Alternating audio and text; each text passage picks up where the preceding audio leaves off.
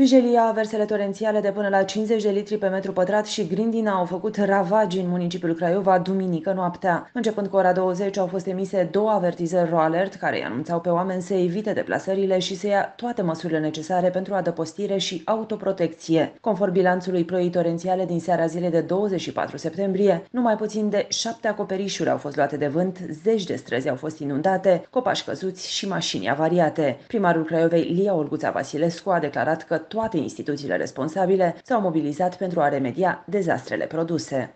Am fost mobilizați încă de ieri de la prânz, de când am primit avertizarea meteo că vom avea cod portocaliu de inundații și uh, toate echipajele noastre au fost deja în teren.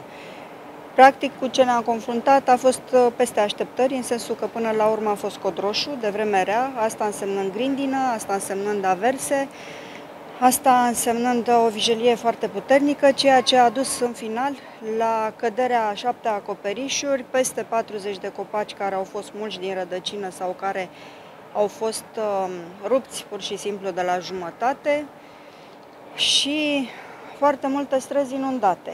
Evident, cu locuințe, cu uh, o școală, uh, cu uh, un hotel, deci foarte multe pagube materiale, din păcate.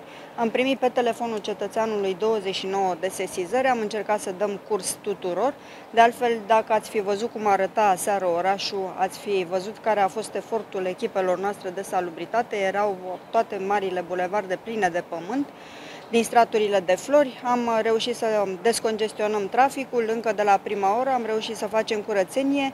Dacă mergeți prin cartierul 1 mai, care este cel mai afectat, undeva în um, aleile dintre blocuri au mai rămas uh, câteva uh, crengi și frunze pe care n-am reușit încă să le uh, descongestionăm și să aranjăm zona, dar se lucrează de 24 de ore non-stop și nu ne vom opri până când totul nu va fi gata.